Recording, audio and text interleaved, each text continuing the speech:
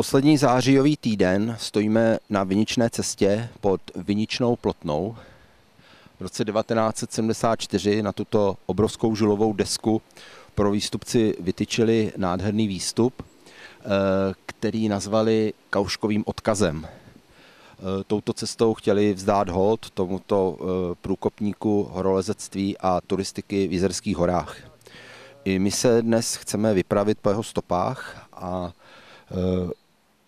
odbočíme z viničné cesty cestou zvanou Rakavek, kudy si představujeme, že i Kauška se svým přítelem Augustem Štaniánem eh, šli 30. září 1923, šli na červené skály, eh, na které eh, chtěli províct prvovýstup na oba vrcholy. Horská stezka Rakavek stoupá ve velmi prudkém svahu poledníku, vlastně mezi jeho vrcholem a viničnou cestou. Eh, cesta k Červeným skalám trvá necelé půl hodiny a o tom, že eh, cesta je velmi málo používaná, eh, svědčí i to, že už na mnoha místech přes ní jsou, jsou stromy, jsou na ní i balvany. Tady vidíme tento čerstvý balvan, když jsme tady byli naposled před třemi lety, tak tady ještě nebyl a je vidět, že čerstvě vypadl tady z toho místa. Eh, ještě jsou vidět stopy, kde vlastně balvan stál a nyní leží tady uprostřed eh, cesty a musí se obcházet.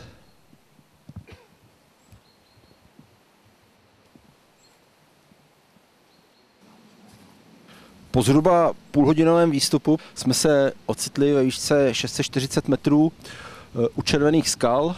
Jsme tady 95 let po prvovýstupcích po Rudolfu Kauškovi a e, jeho lezeckém parťákovi a příteli e, Augustu Štániánovi. Oba vrcholy jsou e, odděleny úzkou průrvou s takovou soutězkou, kde začínají i obě normální cesty. Nyní sejdeme do průrvy a vyrazíme k vrcholům. Na obě skály vede dneska velké množství eh, těžkých a hodnotných eh, výstupů. My však jdeme po stopách prvovýstupců eh, na oba vrcholy.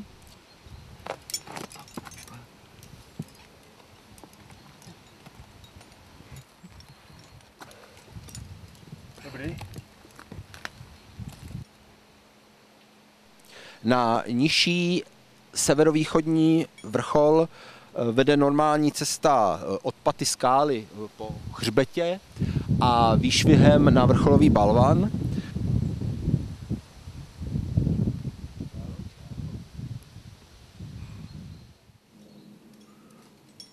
Na vyšší jihozápadní vrchol vede normální cesta touto průrvou. Tak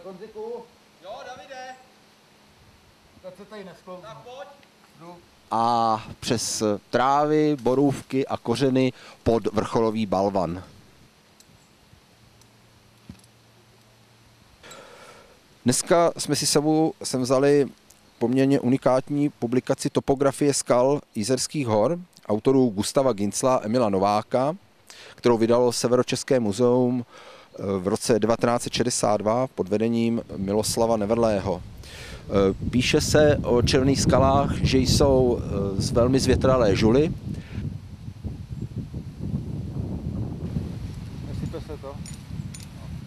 A že na vrcholový blok prvovýstupci používali takzvané stavění, eh, což znamená, že vlastně horolezci lezou po zádech toho svého parťáka. Pojď, pojď. Jako August Štanian. Dnes už eh, na tento blok se vystupuje eh, především čistě, ale my použijeme eh, původní starou techniku stavění, jako tomu před 95 lety bylo, když zde byl Rudolf Kauška s Augustem Steinjánem.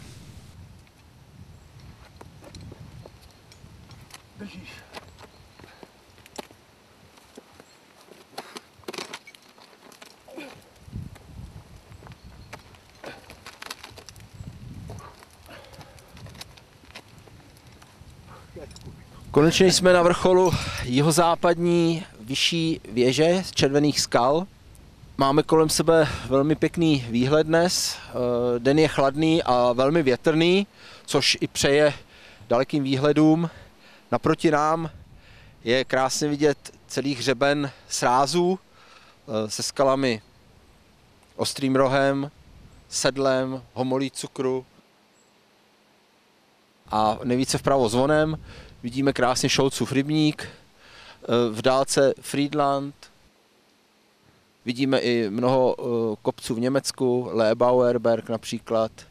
Nad námi je prudký svah poledníku s vrcholem, a my jsme rádi, že jsme opět zde, eh, protože eh, se teď zapíšeme do vrcholové knížky a zjišťujeme, že vrcholová kniha je tady od roku 2000, tedy 18 let a je v ní pouze 20 eh, stránek, 10 listů popsaných. To znamená, že horolezci příliš tyto vrcholy nevyhledávají.